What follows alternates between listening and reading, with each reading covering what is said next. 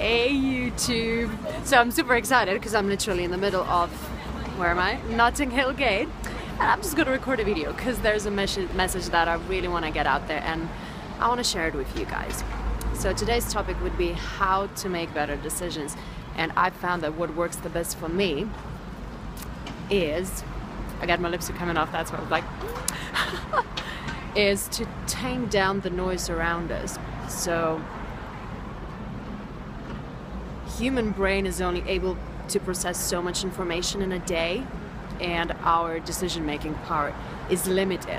Therefore, the more we, we overcrowd our brains, the less we're able to make good decisions. And one good example would be think about the time you spend on social media and scrolling down your timeline. And is it beneficial to you? Or is it just a habit of your thumb going down your phone? It's something to think about because whether you believe it or not, by the end, sometimes you know, you spend a whole day on your phone, and by the end of the day, you're like, I haven't done anything. Why am I so tired? What's going on? That's why, because your brain is just absolutely exhausted from making all these decisions. Then another thing uh, that's very, very important is to take breaks, to have days off. If you're constantly stressed and running around, you're probably not going to be making the best decisions because you're, frankly speaking, just tired. And I've read a very interesting fact that tired people have the same decision making capacity that drunk people do. Do you want to be making drunk decisions, you guys? No. No. And lastly, third thing I would say is knowledge and educating yourself. I remember when I was going to school, in order for me to find information, I would have to go that extra mile to go to library and read books. Whereas now we have everything on internet. Everything is so easily accessible. So all we have to do is just to really educate ourselves. And we have to think about where our attention is going. Is it just scrolling down the timeline for no good reason at all and overcrowding our brain with information or isn't going out of our way to find an article that's actually gonna help us to make more informed decisions and better decisions about whatever it is that we want our life to go to.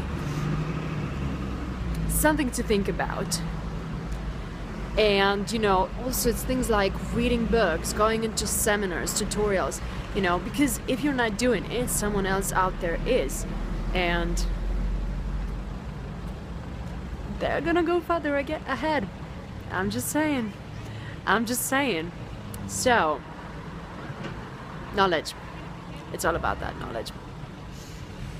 And I hope that this has been helpful.